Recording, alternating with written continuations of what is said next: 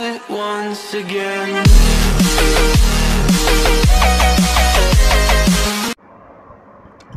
Hello students जो आपके eleven के सिलेबस में एक यूनिट है आपकी database management system and SQL इसको मैं स्टार्ट कर रही हूँ। आपने क्लास टेंथ में भी एसक्यूएल के बारे में थोड़ा बहुत पढ़ा होगा डाटाबेस क्या होता है एसक्यूएल की फोर कमांड्स पढ़ी है, और उसी चीज़ को आपको काफ़ी सारी कमांड्स भी पढ़नी डिटेल में थोड़ा पढ़ना है क्लास इलेवेंथ में। तो स्टार्ट करते हैं फ़र्स्ट इंट्रोडक्शन डाटाबेस होता क्या है database database is a collection of related information database क्या होगा एक कलेक्शन होगा रिलेटेड इन्फॉर्मेशन का। That is organize in such a way वो इस तरीके से ऑर्गेनाइज होगा that supports for easy access ताकि मैं कोई भी डाटाबेस को ईजिली एक्सेस कर पाऊँ मॉडिफाई कर पाऊँ, उसमें कोई चेंज ला पाऊँ और डाटा को मेनटेन कर पाऊँ। ये होता है आपका database generally the database is manage by some special software packages जो जर्नली होता है, जो मेरा डाटा बेस मैनेज होता है, वो कुछ सॉफ्टवेयर्स के द्वारा मैनेज होता है, जिसको मैं डाटा बेस मैनेजमेंट सिस्टम बोलूँगी। नेक्स्ट है, आपका पर्पज़ क्या है डाटा बेस का software is to allow the user to create अब मेरा सॉफ्टवेयर जो होगा database management system whatever software कोई भी सॉफ्टवेयर अगर मैं यूज़ करूँ नीचे, ये देखो ये सारे सॉफ्टवेयर आपके बताए हुए हैं, इनमें से कोई भी सॉफ्टवेयर आप यूज़ कर सकते हो। तो वो सॉफ्टवेयर क्या अलाउ करेगा यूज़र को कि मैं कोई भी डाटाबेस को क्रिएट कर सकती हूँ मॉडिफाई कर सकती हूँ चेंज कर सकती हूँ add administration of database data का एडमिनिस्ट्रेशन बना सकती हूँ कि कौन उसको एक्सेस कर पाएगा, कौन नहीं कर पाएगा, इस तरीके से मेन सर्वर भी। अब एग्जांपल्स दिए हुए हैं। देखो कौन कौन से डाटाबेस मैं यूज़ कर सकती हूँ डाटाबेस मैनेजमेंट सिस्टम जो मेरा है, एक एम एस एक्सेस ये आपने प्रीवियस क्लासेस में पढ़ा होगा। माई एसक्यूएल जो आपको इस बार पढ़ना है। एक होता है पोस्टग्रे एसक्यूएल होता है एसक्यूलाइट होता है माइक्रोसॉफ्ट एसक्यूएल सर्वर होता है ओरेकल सैप और आजकल जो सबसे ट्रेंड में है, वो ओरेकल एंड सैप है। डीबेस होता है फॉक्स प्रो होता है एक्सेट्रा बहुत सारे डाटाबेस होते हैं जो आप यूज़ करते हो। डाटा को मैनेज करने के लिए। अब बेनिफिट्स क्या है डाटाबेस को यूज़ करने का? क्या क्या बेनिफिट्स हैं? फ़र्स्ट क्या बेनिफिट है? रीडेंडेंसी कैन बी कंट्रोल जो डाटा का डुप्लीकेशन होगा, कि मतलब मैं एक ही डाटा मेरा दो बार इंसर्ट हो जाए तो उस चीज़ को रिमूव करता है। ये मेरा डाटाबेस मैनेजमेंट का क्या benefit inconsistence can be avoided जो डाटा इनकन्सिस्टेंट होगा, उसको मैं अवॉइड कर दूँगी। डाटा कैन बी शेयर्ड अगर मैं data base management system use करती हूँ तो मैं डाटा को शेयर कर सकती हूँ। फॉर एग्ज़ाम्पल मैंने एक डाटा बनाया, पूरे स्कूल का डाटा बनाया। सेकेंड उसमें से अगर मुझे पर्टिकुलर क्लास का डाटा चाहिए होगा तो वो उसको मैं शेयर कर पाऊँगी।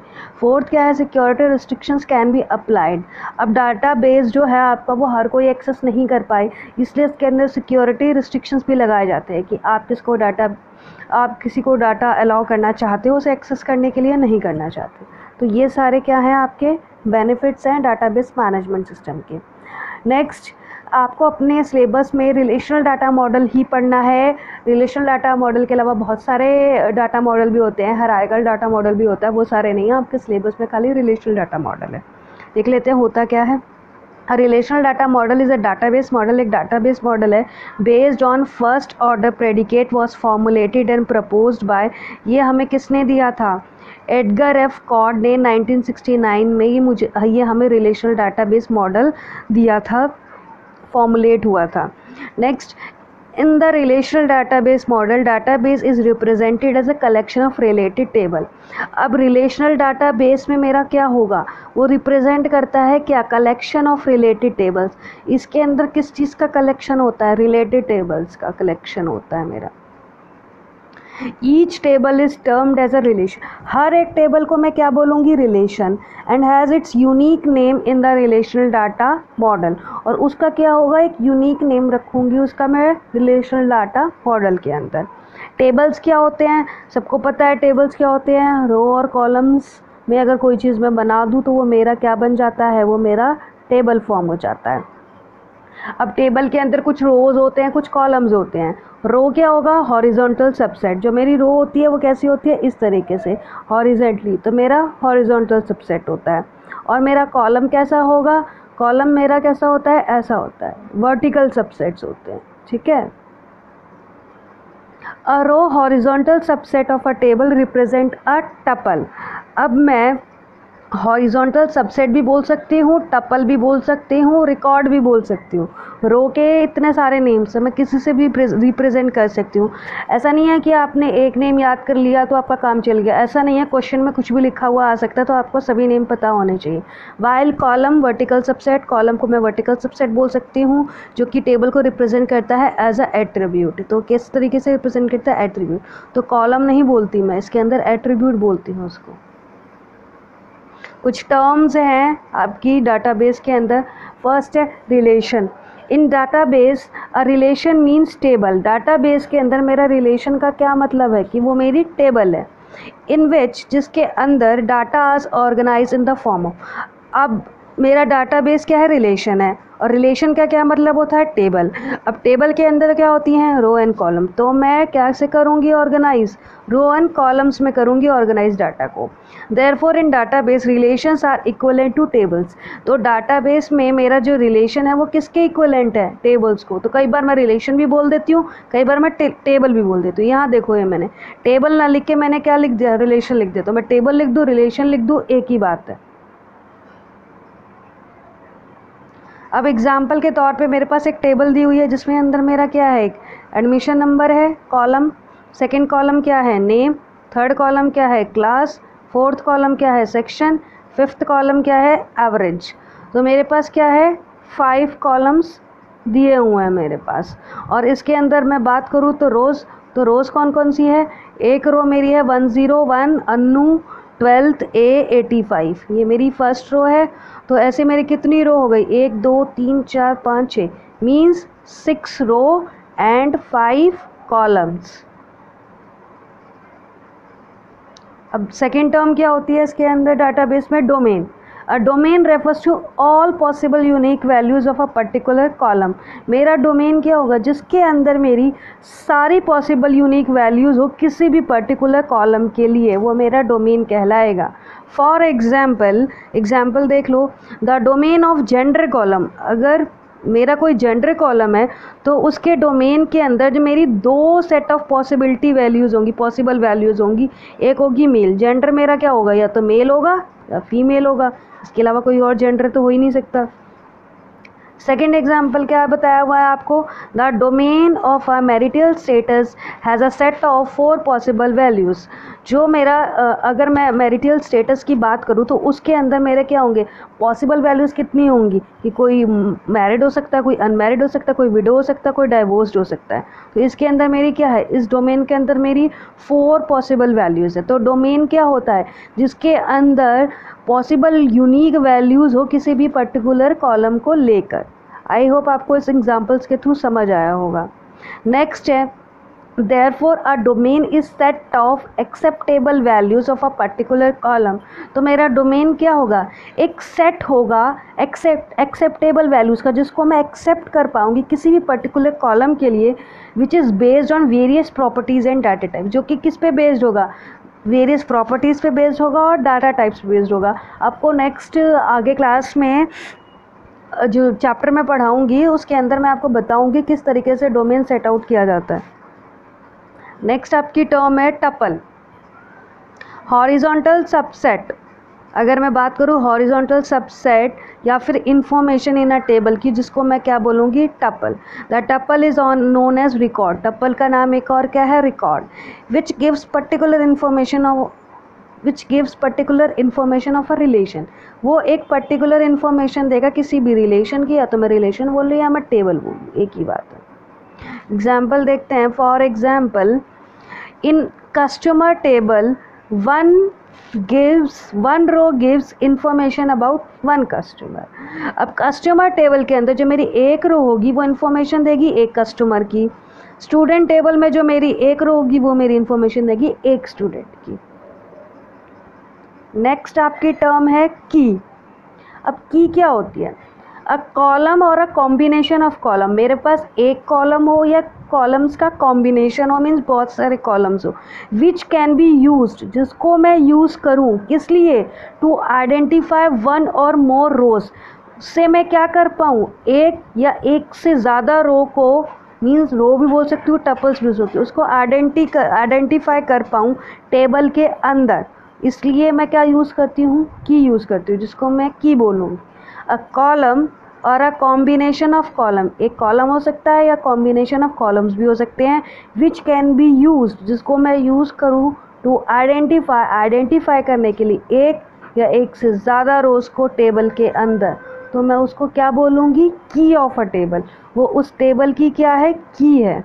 अब आपको मेन टाइप्स ऑफ़ कीज़ बहुत सारे टाइप्स हैं फोर टाइप्स बेसिकली है इसके अंदर कीज़ की वो आपको देखनी है।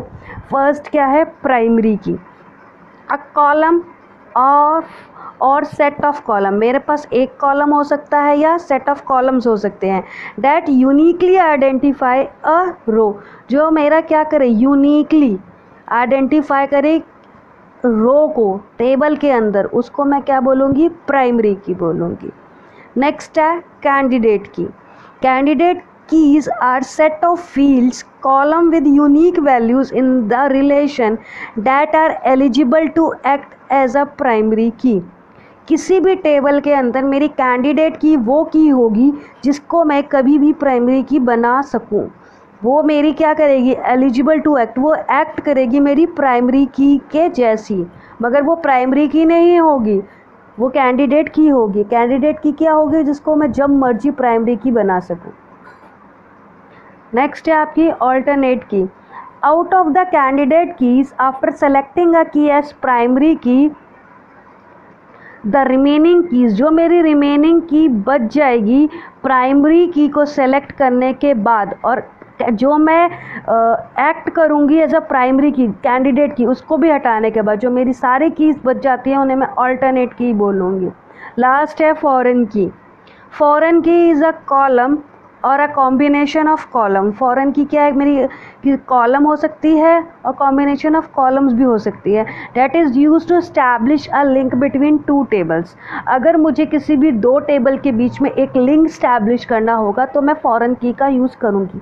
सारी कीज़ मैं एक्सप्लेन करूँगी विद एग्जाम्पल्स बाद में. नेक्स्ट आपकी टर्म है डिग्री डिग्री क्या होती है? The degree is the number of attributes कितने नंबर ऑफ़ कॉलम्स हैं या एट्रीब्यूट्स बोल? टेबल के अंदर. वो मेरी डिग्री कहलाएगी. कार्डिनैलिटी क्या होती है? Cardinality is the number of rows कितनी रोज़ है मेरी टेबल में? मीन्स कितने टपल्स हैं मेरे टेबल में? वो कार्डिनैलिटी कहलाएगी. अब एग्ज़ाम्पल देखिए. एक लिस्ट इसमें बनी हुई है. इस टेबल का नेम क्या है मेरा? Student. Admission number, name, class, section, average, ये मेरे कॉलम्स हैं, ठीक है? Fields, attributes, columns. अब मेरे इसके अंदर फील्ड्स में एट्रीब्यूट्स और कॉलम्स क्या हैं? ये देखो, ये सारे हैं, मैंने अभी पढ़ के बता दिए। अब टपल्स क्या है? रोज़ और रिकॉर्ड्स क्या हैं? जो पहला है, वो क्या है? रो, ये है, जैसे ऊपर देख लो इसके अंदर। ये मेरा क्या है? फ़र्स्ट रो है। और ये सारे, और ये सारे क्या थे? ये सारे आपके कॉलम्स थे। ठीक है? नेक्स्ट देख लेते हैं।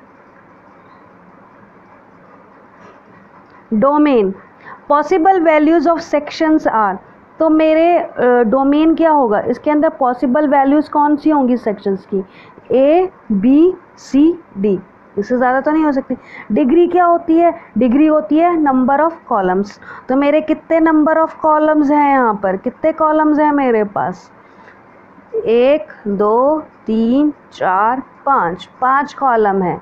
ठीक है? तो मैं क्या लिखूँगी? Five columns.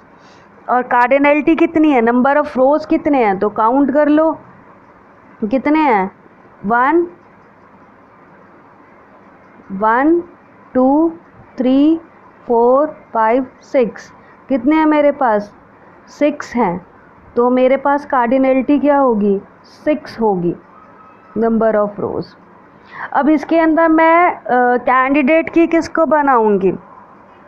In the above table admission number and name has unique values अब इस पूरे टेबल में मुझे सिर्फ़ एडमिशन नंबर और नेम में यूनिक वैल्यूज़ मिल रही है। बाकी क्लास रिपीट हो रही है सेक्शन रिपीट हो रहा है, हो सकता है एवरेज भी रिपीट हो रहा हो। तो therefore admission number and name are candidate key. तो मेरी कैंडिडेट की हो क्या होगी? एडमिशन नंबर और नेम अब मैं प्राइमरी की किसे बनाऊँगी? Out of the admission number and name admission number is the primary key. अब एडमिशन नंबर और नेम में से मैं किसको प्राइमरी की बनाऊँगी? एडमिशन नंबर को। इस टेबल के अंदर मेरा जो नेम है वो यूनिकली है, क्योंकि मेरा टेबल क्या है इसमें अंदर की एक छोटा डाटाबेस मैंने बनाया स्मॉल डाटाबेस है तो इसके अंदर मेरा नेम क्या है, वो यूनिकली हो रहा है आइडेंटिफाई बट जब मैं लार्ज डाटाबेस बनाती हूँ तो हो सकता है उसके अंदर नेम रिपीट हो जाए. तो इसीलिए मैं प्राइमरी की उसी को बनाती हूँ, जो मेरा यूनिकली आइडेंटिफाई करे. किसी भी रो को। तो इसके अंदर मेरा क्या होगा? इसके अंदर मैं एडमिशन नंबर को प्राइमरी की बनाऊँगी। तो मेरी कैंडिडेट की कौन सी थी? एडमिशन नंबर थी और नेम थी। तो जिसमें से मैंने क्या कर दिया? एडमिशन नंबर किसको बना दिया? प्राइमरी की बना दी एडमिशन नंबर फिर मेरे कैंडिडेट की क्या हो गया? कि नेम कि एडमिशन नंबर के अलावा जो की मेरी प्राइमरी की बन सकती है, वो मेरी क्या है? नेम तो नेम और मेरे एडमिशन नंबर क्या होंगी? ये मेरे कैंडिडेट की की तरह एक्ट करेंगे। लास्ट है ऑल्टरनेट की। जो बच गई, वो सारी क्या होंगी? Alternate key. In the candidate key admission number is the primary key and name is the alternate key. फिर मेरा एक ऑल्टरनेट की तरह मेरे पास ऑप्शन क्या बच गया? नेम तो वो मेरा क्या होगा? ऑल्टरनेट की। अब हम पढ़ते हैं स्ट्रक्चर्ड क्वेरी लैंग्वेज ये तो आपने पढ़ा, अभी डाटाबेस क्या होता है? अब किसी एक प्रोग्रामिंग लैंग्वेज के थ्रू हम डाटाबेस को कैसे मैनेज करते हैं, वो पढ़ना है। तो वो प्रोग्रामिंग लैंग्वेज कौन सी है? S Q L structured query language structured query language is a standard language use for accessing database जो मेरी स्ट्रक्चर्ड क्वेरी लैंग्वेज है, वो एक स्टैंडर्ड लैंग्वेज है। जिसको मैं यूज़ करती हूँ डाटाबेस को एक्सेस करने के लिए। This is a special purpose programming language ये क्या है? एक स्पेशल पर्पस प्रोग्रामिंग लैंग्वेज है, जिसका पर्पस क्या है? Use to create a table इससे मैं टेबल क्रिएट कर सकती हूँ डाटा को मैनेज कर सकती हूँ डाटा को मैनिपुलेट कर सकती हूँ मीन्स कोई भी चेंज कर सकती हूँ डाटा के अंदर। SQL provide statements for a variety of task including अब एसक्यूएल हमें बहुत सारे वैरायटी ऑफ़ टास्क प्रोवाइड करता है। वो कौन कौन से हैं? पहला है क्वेरिंग डाटा डाटा को मैं क्या कर सकती हूँ? क्वेरिंग कर सकती हूँ। कोई भी क्वेरी बना सकती हूँ। सेकेंड इंसर्ट कर सकती हूँ। कुछ भी अपडेट कर सकती हूँ। डिलीट कर सकती हूँ। रोज़ इन अ टेबल टेबल में किसी भी रो को मैं इंसर्ट अपडेट डिलीट कर सकती हूँ। थर्ड पॉइंट क्या है? Creating replacing altering and dropping objects मैं किसी भी ऑब्जेक्ट को क्रिएट कर सकती हूँ रिप्लेस कर सकती हूँ ऑल्टर कर सकती हूँ ड्रॉप कर सकती हूँ टेबल के अंदर. ड्रॉप मीन्स कि उसको रिमूव कर सकती हूँ. फोर्थ पॉइंट क्या है? Controlling access to the database and its object मैं डाटाबेस को कंट्रोल कर सकती हूँ और ऑब्जेक्ट्स को मैं controlling access to the database मैं डाटाबेस को एक्सेस कर सकती हूँ कंट्रोल भी कर सकती हूँ और उसके ऑब्जेक्ट्स को भी पूरा पूरा डाटाबेस भी और जो टेबल्स पे मेरे ऑब्जेक्ट्स यूज़ हो रहे हैं, उनको भी। फिफ्थ पॉइंट क्या है? Guaranteeing database consistency and integrity SQL unifies all of the preceding task in one consistent language जो मेरा डाटाबेस कंसिस्टेंसी है और इंटीग्रिटी है, इसको जो ये यूज़ करता है, उससे मैं जितना भी प्रिसीडिंग टास्क है, उन सबको एक कंसिस्टेंट लैंग्वेज में यूज़ कर पाती हूँ। नेक्स्ट है आपके एसक्यूएल कमांड्स को मैं क्लासीफाई करती हूँ इसके टू कैटेगरीज़ में। पहला है आपका डाटा डेफिनेशन लैंग्वेज सेकंड है आपका डाटा मैनिपुलेशन लैंग्वेज और एक और भी होता है, वो इसके अंदर इस नोट्स में नहीं है, वो आपका होता है ट्रांजैक्शन कंट्रोल भी होता है, वो इस नोट्स में नहीं है। अगर आपको पढ़ना होगा तो मैं आपको बता दूँगी। आप मुझे कमेंट सेक्शन में लिख के बता दो। फ़र्स्ट है data definition language data definition language is a standard for commands that defines the different structure in a database जो मेरी डाटा डेफिनेशन लैंग्वेज होती है, वो स्टैंडर्ड कमांड्स होती है उसके अंदर, जो कि डिफाइन करती है डिफरेंट स्ट्रक्चर को कि डिफरेंट डिफरेंट स्ट्रक्चर क्या हो सकता है डाटाबेस का? डिफरेंट स्ट्रक्चर में मीन्स देखो, कुछ बताए हुए हैं डीडीएल स्टेटमेंट जैसे कि क्रिएट करना किसी भी टेबल को ऑल्टर करना किसी भी टेबल को, या फिर हटा देना किसी भी ड्रॉप कर देना किसी भी टेबल को। ये सारी जो मेरी स्टेटमेंट्स है, वो मेरी डाटा डेफिनेशन लैंग्वेज में आती हैं। क्रिएट डाटाबेस से मैं क्या करूँगी? किसी भी न्यू डाटाबेस को क्रिएट करूँगी। क्रिएट टेबल से क्या करूँगी? कोई नया टेबल क्रिएट करूँगी। देखो डाटाबेस क्रिएट करना और टेबल क्रिएट करना दोनों में डिफरेंस है। ऑल्टर टेबल से क्या करूँगी? किसी भी टेबल को मॉडिफाई मतलब कोई चेंज कर पाऊँगी। ड्रॉप टेबल से क्या करूँगी? टेबल को डिलीट करूँगी। नेक्स्ट है आपकी data manipulation language data manipulation language are use to access and manipulate data in existing table अब मेरी एक एग्जिस्टिंग टेबल है, जिसके अंदर मैं चाहती हूँ कि मैं उसके अंदर कोई चेंज लाऊँ। तो वो मैं किसके थ्रू ले सकती हूँ? डाटा मैनिपुलेशन लैंग्वेज के थ्रू मैं उसके अंदर चेंजेस ला सकती हूँ। Common D M L statements, अब common D M L statements कौन कौन सी हैं आपकी? सेलेक्ट है अपडेट है डिलीट है इंसर्ट है। ये सारी डी एम एल स्टेटमेंट है आपकी। सेलेक्ट से क्या करोगे? Extract data from a table कोई टेबल है, उससे मुझे कोई चीज़ सेलेक्ट करनी है तो मैं उसे क्या एक्सट्रैक्ट कर लूँगी निकाल लूँगी। अपडेट से क्या करूँगी? किसी भी टेबल के डाटाबेस को अपडेट कर सकती हूँ। डिलीट से क्या करूँगी? किसी भी टेबल के डाटाबेस को डिलीट कर सकती हूँ। और इंसर्ट इनटू से क्या करूँगी? किसी भी डाटा किसी भी टेबल में कोई भी न्यू डाटा इंसर्ट कर सकती हूँ। मुझे मान लो कि मुझे कोई न्यू रो इंसर्ट करनी है किसी भी टेबल में तो वो मैं इंसर्ट इनटू के थ्रू कर सकती हूँ। अब टेबल कैसे क्रिएट करना है? एसक्यूएल के अंदर वो देख लीजिए। We can create a table अगर मुझे टेबल क्रिएट करना है तो मैं क्रिएट टेबल स्टेटमेंट का यूज़ करूँगी इसके थ्रू ही।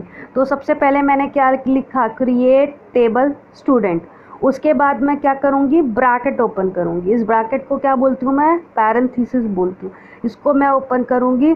उसके बाद मुझे कौन कौन से कॉलम्स चाहिए वो मैं लिखूँगी प्लस उनके डाटा टाइप ये जो आप देख रहे हो इंटीजर वैर कैर कैर डेसिमल ये सब मेरे क्या हैं? ये सब मेरे डाटा टाइप्स हैं एसक्यूएल के अंदर, ठीक है?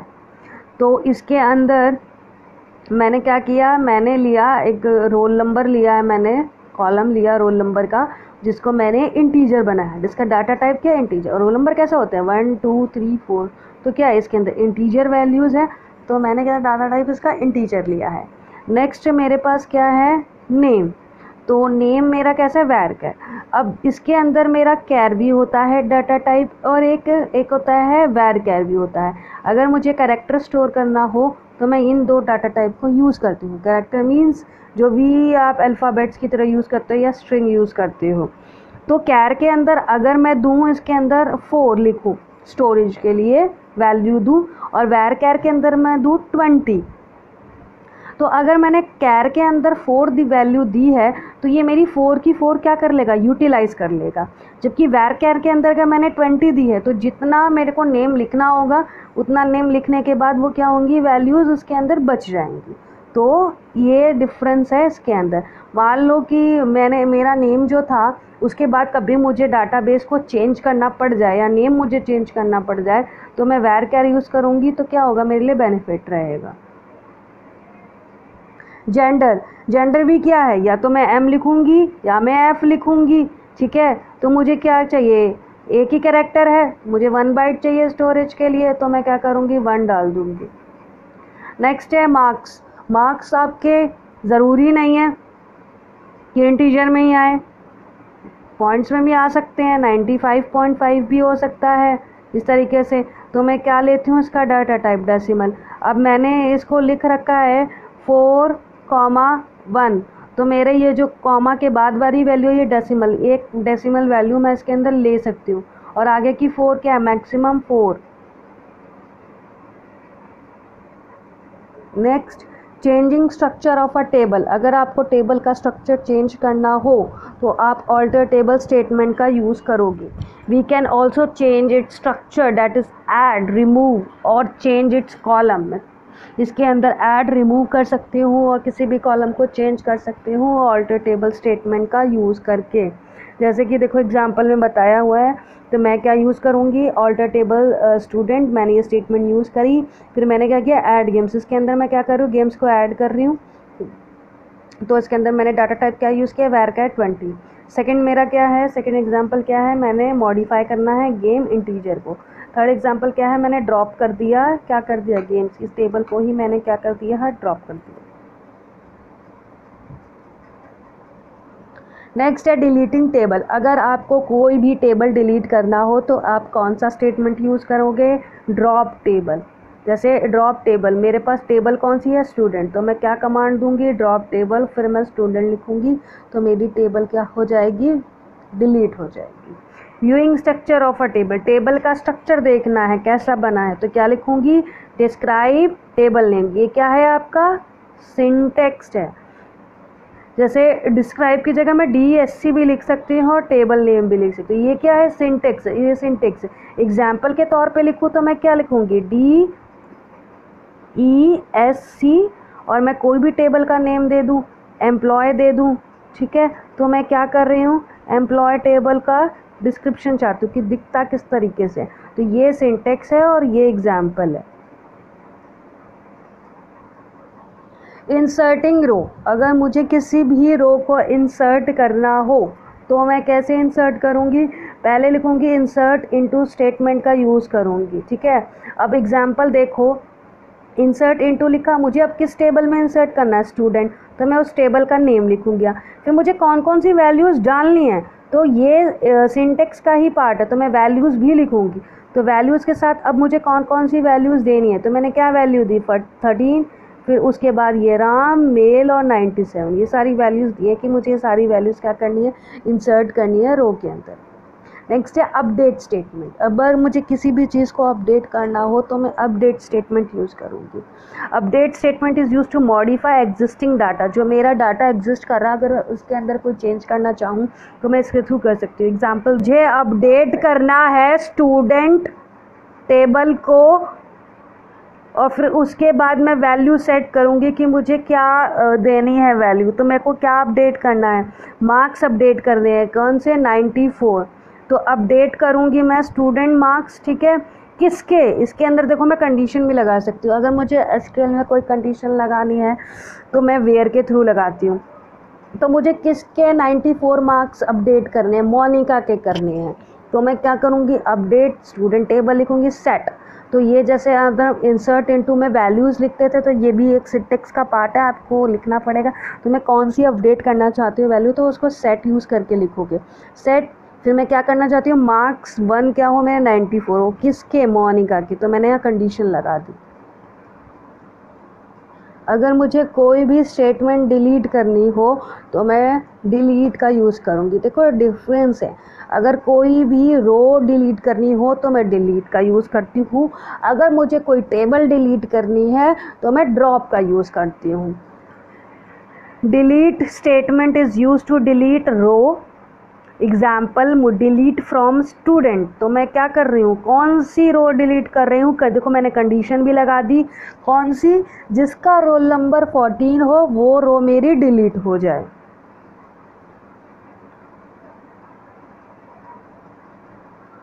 ठीक है? तो आज के लिए इतना ही। एक बार इसको आप अच्छे से पढ़िए। अगर कोई प्रॉब्लम हो तो मुझे कमेंट सेक्शन में लिख के बता सकते हो। तो वो मैं आपका डाउट क्लियर कर दूँगी। और नेक्स्ट टाइम जो है, मैं आपको एक्सक्यूएल कमांड्स बना, बताऊँगी कि सेलेक्ट स्टेटमेंट कैसे यूज़ करते हैं, सिंटेक्स क्या है, सारे कमांड्स मैं आपको अच्छे से पढ़ाऊँगी। एग्रीगेट कमांड्स भी हैं, बहुत सारे कमांड्स हैं, उस कमांड को अच्छे से पढ़ाऊँगी। तो आज के लिए बस इतना ही। Thank you very much.